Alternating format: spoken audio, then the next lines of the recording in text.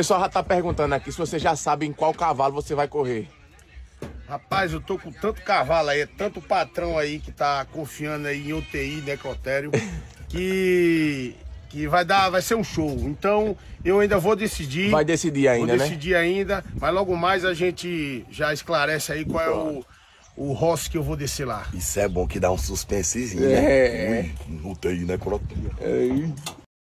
Neco, estão perguntando se você tá pronto pra botar na boiada preta. Aí, explica aí pro pessoal. Essas últimas disputas, o que é que tu vem ganhando aí, Neco? Rapaz, essa semana agora foi primeiro e segundo. Foi rachado, mas só que eu fiquei em primeiro e segundo lugar. E eu tô pronto, preparado, suave na nave. tá Então o ligado? Neco não tava parado, não, né? Pra quem pensava que o Neco tava Não. parado é porque tá fazendo essas disputas E por eu aqui sei também. que seu Geraldo com certeza já deve ter matado os boiúba. Agora traga os filhinhos dele, leva os filhinhos dele pra lá. Os filhinhos do boiúba. Sem contar a Serrinha, que foi com duas também, 15 dias Duas, atrás. com 15 certeza. dias atrás, não foi que Serrinha também com duas? Mas isso aí a gente é acostumado a fazer isso. Aí, isso aí é acostumado. Ganhar prêmio tá aqui. Neco, o pessoal tá perguntando aqui com qual idade você começou a correr vaquejada. Ah, eu comecei desde criança, né? Porque meu pai corria também, tinha pista de vaqueada em casa, então. Desde... No caso foi inspiração em seu pai, né? Com certeza. Desde Já criança. corria desde novinho, desde novinho. Desde Já, novinho mesmo. já se cresceu correndo, já. Com certeza, 8, 9 anos já, já montava, já.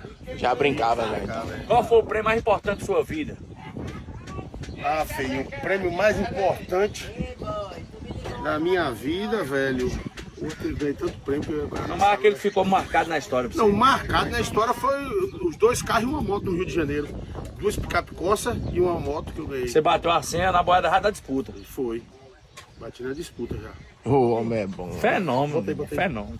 Estão perguntando aqui se no X1 você vai usar mais necrotério ou vai usar mais UTI. Rapaz, lógico, com certeza que necrotério, lógico. É, porque na UTI o cabo ainda tem uma Tem uma chancezinha, chance né? ainda de viver. Agora no necrotério, já era. Tchau. O pessoal tá perguntando aí o que foi que aconteceu aí no, no dedo dessa mão direita aí. Isso aqui é na época de- do rabo de boi. Foi uma vaqueada lá em Lagarto, o rabo do boi grossão. Eu disputando o primeiro lugar no Fista para o Sucesso em 2013.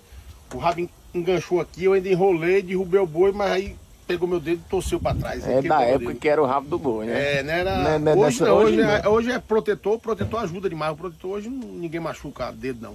Aí é bom, né? Mas é isso aí, esclarecendo pra galera aí.